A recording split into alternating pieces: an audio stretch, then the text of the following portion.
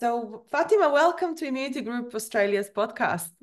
Yes, thank you for having me. I'm so excited to be here. Joining us from New York City. Can you tell us a bit about yourself, please? Yes, okay. Um, New York City, yes, Bronx resident all my life. Um, I actually have been teaching for the last uh, five years now. It's been since 2019. After a long career in the fashion industry, I decided to uh, work with kids. I have a son. He is amazing, and it was his idea.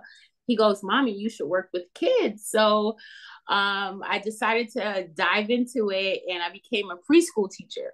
And uh, my first two years as a preschool teacher is where my whole project came about. So um, I now I'm actually working with middle school kids, and believe it or not, my project has kind of like shifted to a higher grade and older kids. So yeah, so I'm teaching um here in the Bronx on Fordham Road, and I love my job. I love my kids. Um, I think uh they call me one of the popular teachers and it, it's really cool. I love to um they love peanut and friends by the way. I have all my projects i include my kids into everything.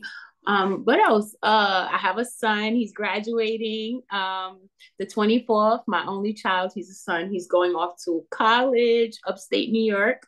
So i'm excited and you know i'm gonna be alone now. I have a dog and he's like my everything. So yeah that's but it. I've been here. Peanut and Friends. How did Peanut and Friends come about? I see a little peanut behind you.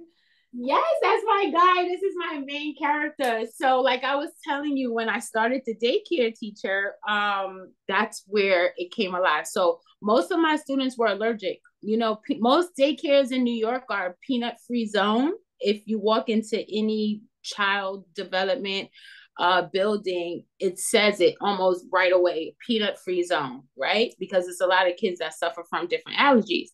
So, as a teacher, for some reason, the, the parents never really took in consideration about another child's allergy, right? So, they somehow missed the sign and would come in with peanut butter and jelly sandwiches peanut butter bars, you know, things like that. So one day I decided I'm also an artist to create a huge peanut. So I drew him in a big piece of paper and I wrote, He can't come in. And I made copies and I plastered it all over the daycare. And for some reason, that caught everyone's attention. Like, oh my God, who drew that big peanut up there? And that became like the talk of the town. So that from that one picture, I started to come up with a story. And that's when He Can't Come In came in the picture, which was a children's book that I wrote in 2019. So these are all the characters from the book. So this is Elliot Egg. I decided to make the main characters peanut allergies. So uh, allergies, right? So here we go. It's Peanut Jr. It's my little guy. He he was the guy that I drew on the paper we discussed. He was the main character. This is the one I was like, he can't come in. This peanut cannot come in the building. So that's how it started. So the children's book, I think I wrote it within the two, two, three months.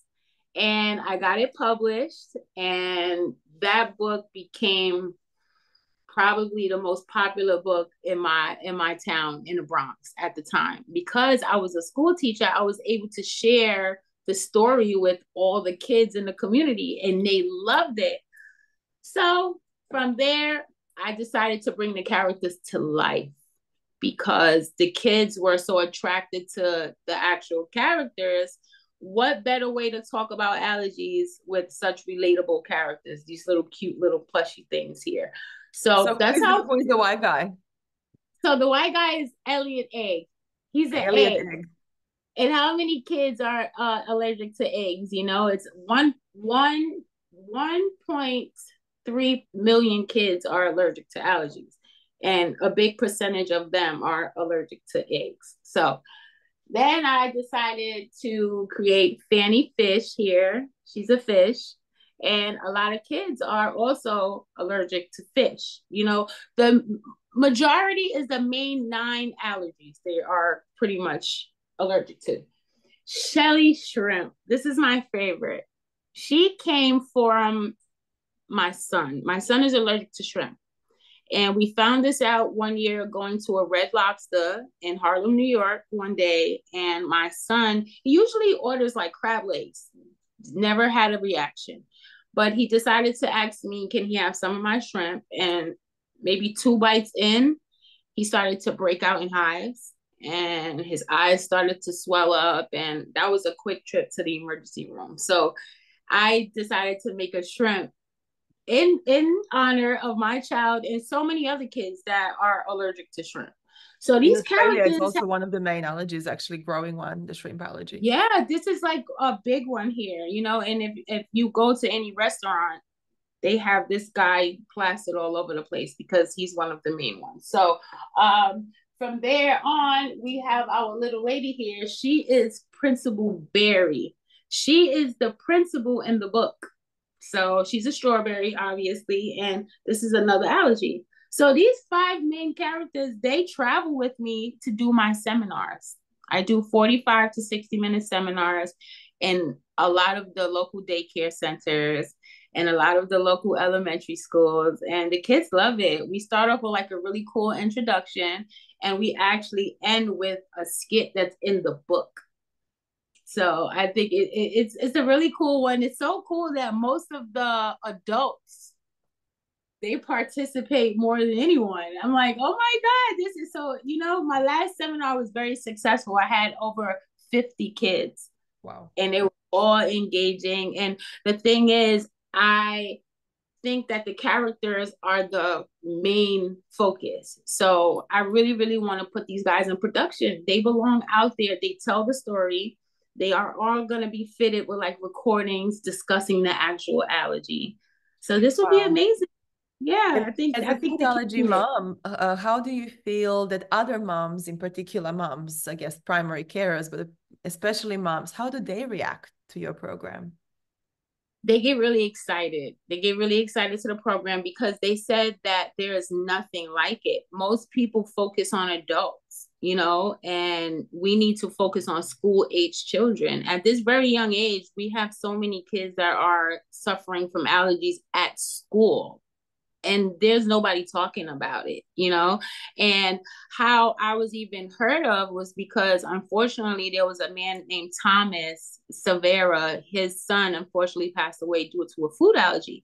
Elijah. And he yeah, Elijah, and he visited uh, a school that I was working at, and I was no longer there. But because of these characters, they passed it along to Thomas, and Thomas reached out to me and he actually made my book he can't come in part of his foundation page which was awesome you know just to help me spread the word. So as soon as he heard about it he gave me a call and he was like listen they told me a lot of cool things about these peanut and friends and i thought it was a good idea to like that they gave me more confidence to show that this really needs no one is talking about it with kids. There's no seminars in school. There's no uh, curriculum that includes peanut allergies or or awareness period about food allergies. And it starts at daycare centers. So i want to be the ones and you know it's hard to take to get the attention of a two year old you know? What better way to get their attention with other than relatable characters, you know. And mm. also, I've I've created so much stuff. I have this really cool lunchbox. Wow, my incredible.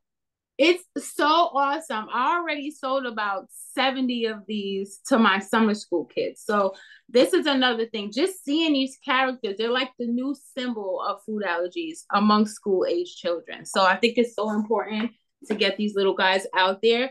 Getting them out there is getting kids to talk more about food allergies. It's a it's a dangerous thing if and they need to be aware. They're never too small to be educated ever. And in yeah. terms of support which you had within the school community, um, not where you live, I guess, in, in Greater New York, um, what kind of support did you feel that you got, or what kind of support can you benefit from in the future? Well, the greatest support that I have right now is the support of children. Like that is the main. They love it. I they put stickers of Peanut and Friends all over their water bottles. Like the kids support shows me they're listening. They want it. You know, they I want to see them on PBS with uh, educational commercials. I've created PSAs with them that the kids love. So, number one, my biggest support are the children. It shows me that they are interested, right? And then I have the support of other teachers. And recently I got a big backing from my principal who was very interested and she actually had me do a couple of seminars at the school and I was honored by the United Federation of Teachers. It, they actually got to see it and they did a whole newspaper report about it in April of last year. So that's a big support, getting the backings of teachers, right?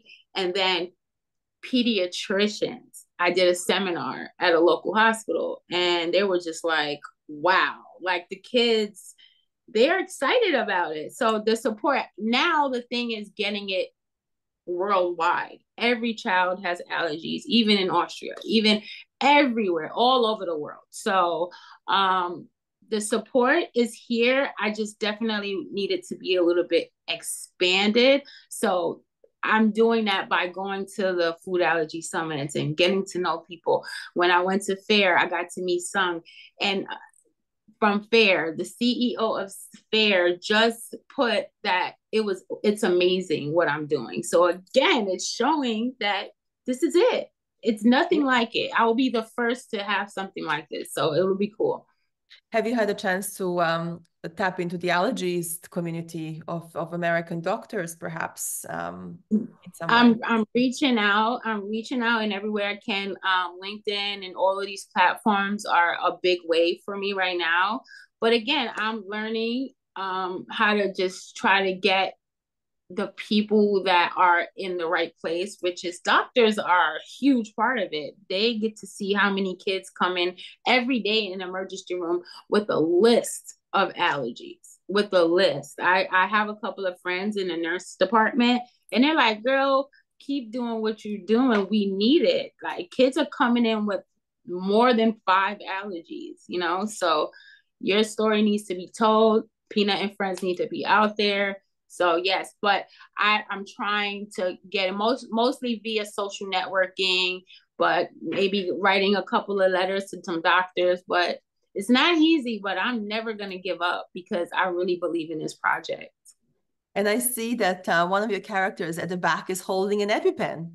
Yes, that's Peanut. He's holding an EpiPen. Um, that is the main focus. At my seminars, I teach kids how to do training. So we have EpiPens that are trainers and we teach the kids how to use them correctly. Um, I even bring out the new EpiPen, which is the with a voice box, you know, and we do so many things and the kids are excited to do it, you know, like wow. And and you'll be surprised, even if they don't have an allergy, they know someone who has an allergy, a parent, a sibling. So yeah, it's it's very important.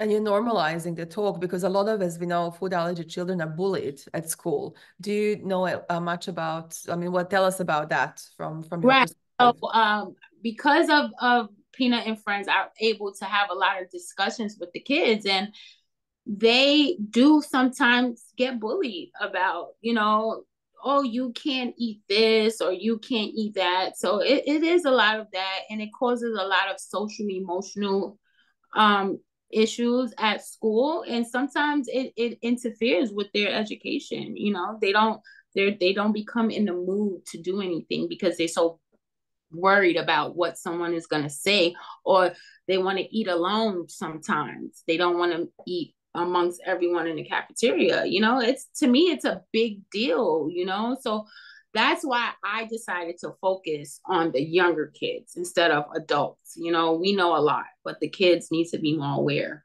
So, yeah. so your characters give them confidence and normalizing the talk. And um, and I love your um, picture behind you of a globe, isn't it? Um, that it's a global problem. It's a global issue. It, this is definitely a global issue, and these are characters that are relatable to everyone across the globe. You know, it's not one person that that wouldn't know about a strawberry or a fish, you know. And again, they they bring comfort. It's not only they're educational plushies, but they also bring some type of comfort. You know, imagine someone, and, and you can gift someone who had an allergic reaction, you know, it's even kind of like a quirky, funny thing. Like, you know, people get hospitalized for different things. So I would also love to see these in the gift shops. And, and all the hospitals at the gift shops, you know, let me run down and get you a cute little cuddly peanut to give you a little bit of you know, feel make you feel better about your experience, unfortunately, you know, at the doctor's. So definitely a global issue. And I know Peanut and Friends will help bring awareness, especially to the young kids, you know, and we can avoid so many issues in the schools and the daycare centers. We need to do better with the menu. And yeah, so yeah, Thank it. you for all the work you do. We hope to see your products in Australia as well and your book especially. Oh, OMG, I am totally willing to get my but they need to be everywhere. So Australia, here we come. and is your book available on Amazon or? Yes, it's on uh, available on Amazon. It's also available on Barnes and Nobles, and it's called He Can't Come In, and it's by me, Fatima Straughn. Beautiful. Thank you so much, and uh, we hope to speak to you again in the future. Yes, thank you for having me and thank you for all your support and thank you for highlighting my guys and wish me well because we are coming everywhere. We will be near you anytime soon. thank you, Fatima. Thank you.